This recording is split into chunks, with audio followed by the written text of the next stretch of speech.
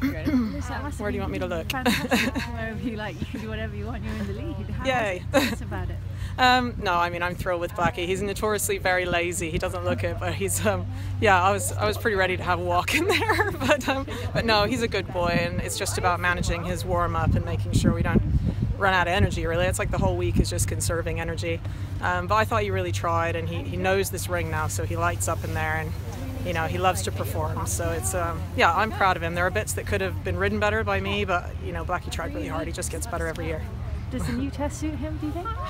Um, it was better than I expected. Um, we've been working hard on it. I have been practicing a lot of the movements, and um, I think sometimes maybe the previous test was probably better for him, but he scored better than he did last year, I think. So, um, so yeah, it's it's definitely takes some learning when you don't know the test. But I spent a long time watching everyone yesterday, which was lucky for me, and it's nice and cool this morning. That suits him better too. So, yeah. Uh, it's going to be hot tomorrow. Have you, and what about the course? I mean, I think the course is tough. Uh, um, I'll definitely be doing an option at the first combination just because that that sort of question wouldn't suit him early on, um, and I know my horse.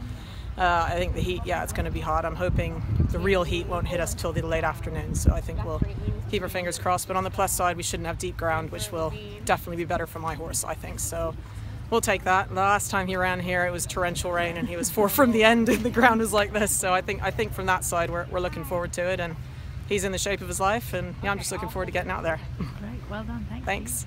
Um, and I noticed you're wearing your Pony Club pin. What does it feel like to represent Pony Club here? Obviously, we have a lot of Pony Clubbers that you know. Yeah, signature. no, like I'm, I'm a proud ex Pony Clubber, and um, I, Pony Club got me into eventing. You know, I was trying to find my way, and the minute I went to Pony Club and jumped my first solid fence, I was like, that's it, I'm an eventer. so, um, and I, I actually came to the inaugural CCI four star here in 1998 and walked the course with Jimmy Wofford, and I was like, this is where I want to be, and this is what I want to do. So it's, it's always an honor to be at Rolex. You know, each time I'm here, it's it's a pleasure. Yeah. And what were you doing before you did eventing?